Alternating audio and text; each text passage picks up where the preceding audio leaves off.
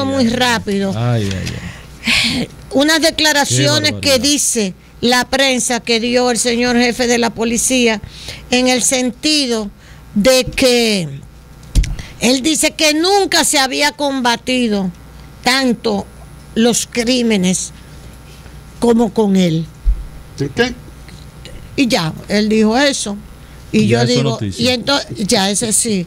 Entonces yo digo, pues nos llevó el diablo. Pues sencillamente lo que nos ha llevado es el diablo.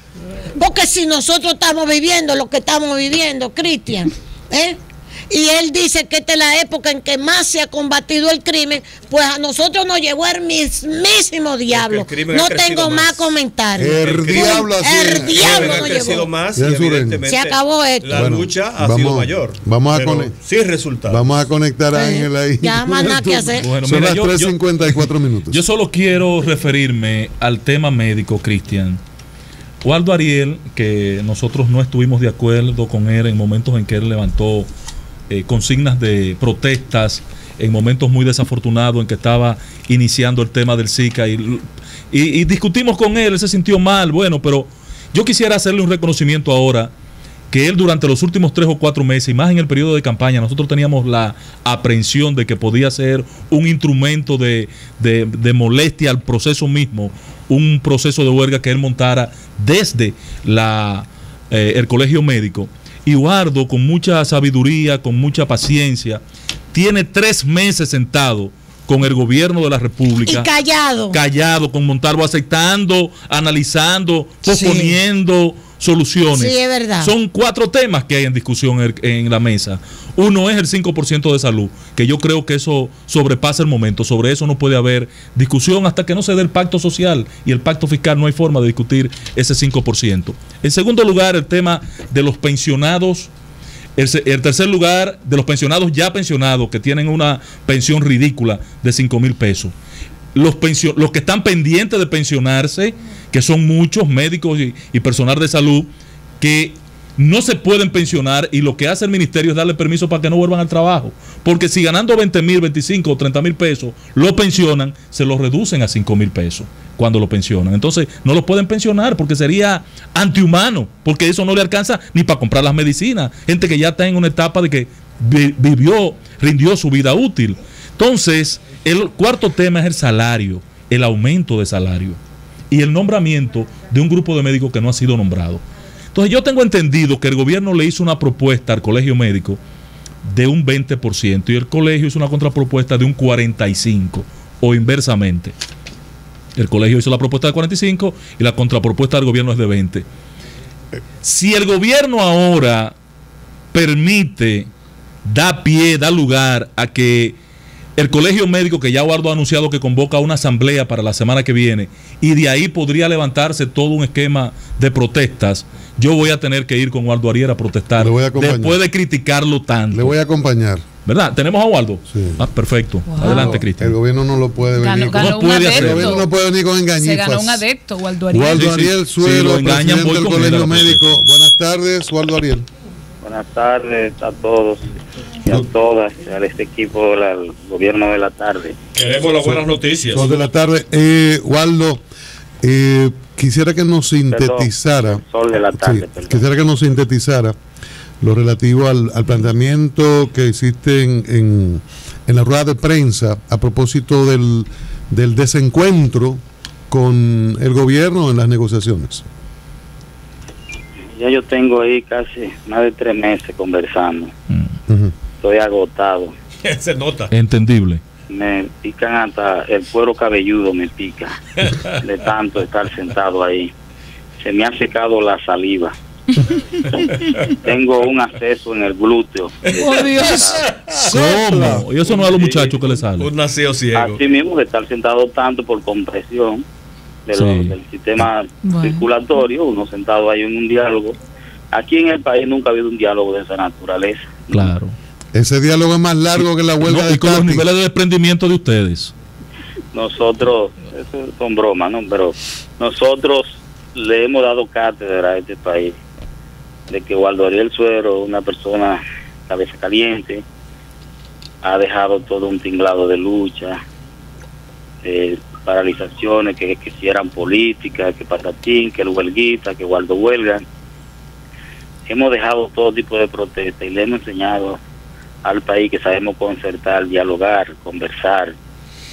Pero el gobierno de parece que no tiene eso. Do- doctor, pero al, al día de hoy, o al día de ayer al No menos, tenemos nada. pero a- habían acuerdos al menos parciales en el tema de pensiones, habían acuerdos. acuerdos Claro. parciales en el tema de pensiones, pero te lo echan para atrás. Yo tengo en mi mano una, una propuesta que ellos no llevaron la última, ¿En qué consiste esa propuesta?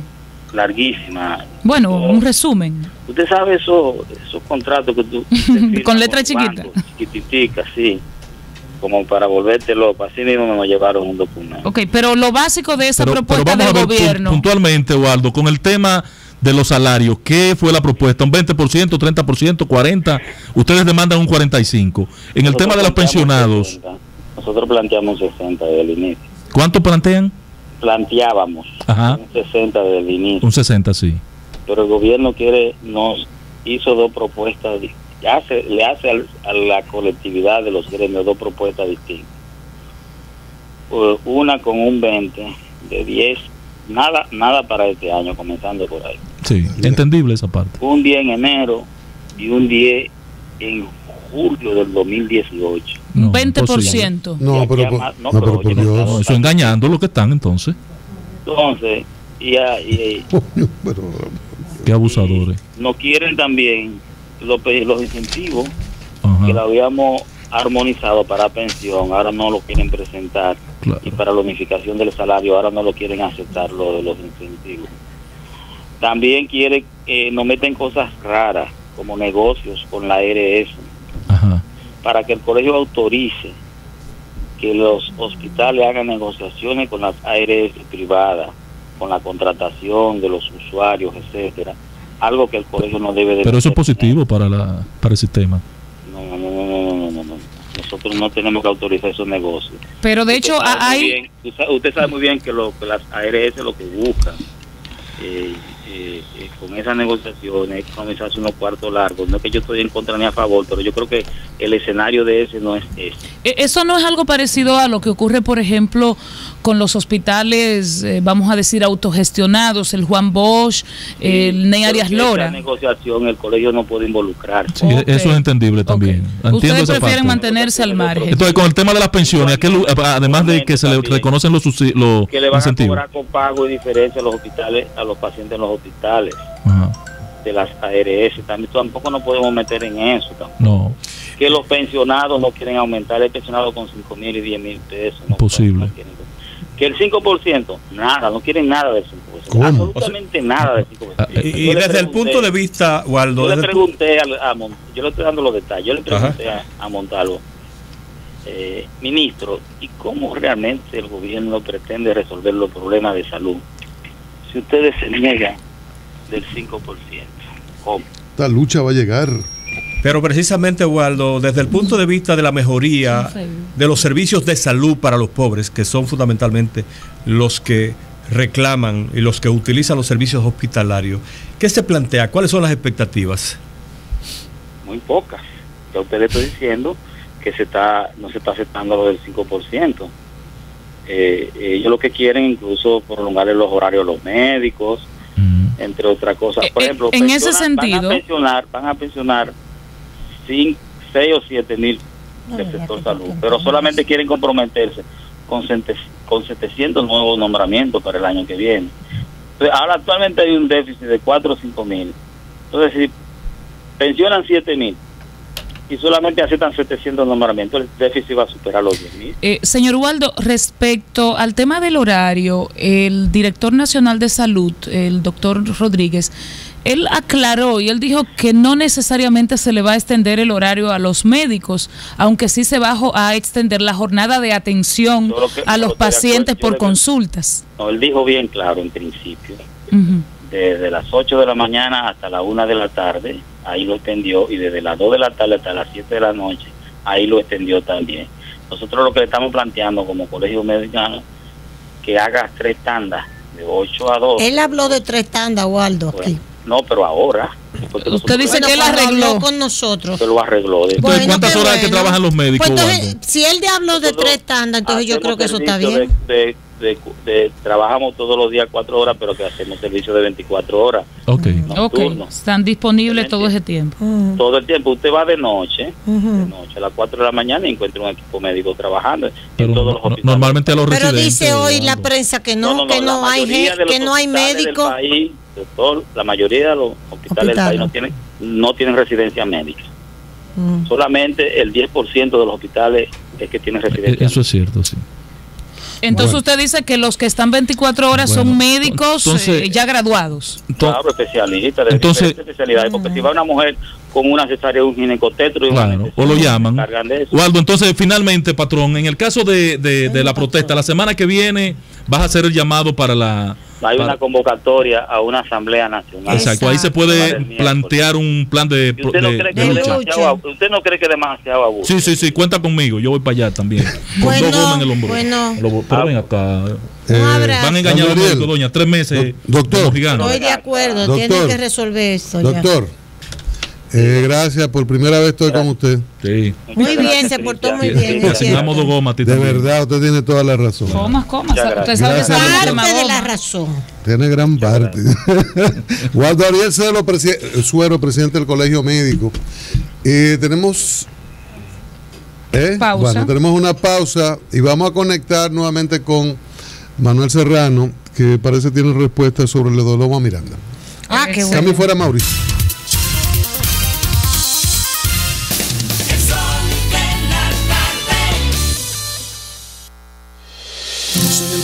Que te llena de sabor, que soy patrón de oro es la tradición. Vamos a compartir, vamos a disfrutar, que soy patrón de oro es el ideal. Llegó el patrón, patrón de oro, para llenar las mesas de emoción. Llegó el patrón, patrón de oro, una herencia de sabor. Llegó el patrón cheddar y gouda, ven y prueba su frescura. Llegó el patrón crema y danés, blanco de freír también. Hay un solo queso patrón. Pídelo por su nombre completo. Patrón de oro. Patrimonio dominicano. Es tiempo de viajar en crucero. Viaja a Puerto Rico a bordo del Caribbean Fantasy de American Cruise Ferries, donde al comprar dos adultos, los primeros dos niños solo pagan impuestos. Pregunta por nuestra super oferta por tiempo y espacio limitado, desde 159 dólares. Llama ya al 809-688-4400 en Santiago 809-583-4440 y también línea libre de cargos al 1-809-200-4400 o a tu agencia de viajes. Tropigas, el gas de los dominicanos. Quisiera que tuvieran lo que pusieron allá arriba. Ahora el banco lo tenemos a la vuelta de la esquina. Ay, sí, señor. Ya van reservas te resolvió. En el colmado y en el salón. Ahora más cerca se mudó. Resuelve todas tus diligencias bancarias ahí mismo, bien cerquita con nuestra red de más de 700 subagentes bancarios cerca Banreservas, distribuidos en todo el país. Resuelve tus depósitos, retiro, consulta, recarga, transferencia, pago y todo lo que quieras. Ubica el subagente cerca de donde estés y resuelve tus transacciones bancarias fuera del banco. Nuestro mejor regalo para nuestra mejor reserva. Tú, Ban Reservas, el banco de los dominicanos. Imagina recorrer nuevos caminos de la mano de un aliado que constantemente se reinventa haciendo realidad todo lo que imagines. En Hyundai inauguramos dos modernas sucursales en las avenidas Luperón e Independencia y renovamos totalmente las existentes en la John F. Kennedy y 27 de febrero de Santo Domingo y Santiago. Lo premium se expande y continúa innovando y brindándote el servicio más completo. Hyundai se transforma. Más información en nuestra página web y redes sociales. Tus denuncias son escuchadas en el sol de la tarde. Ingresa a nuestro perfil de Facebook. Búscanos como Sol FM y exprésanos tus problemas sociales. Un servicio a la comunidad de Sol 106.5, la más interactiva. Sol 106.5. 4 8 minutos. Tenemos a Manuel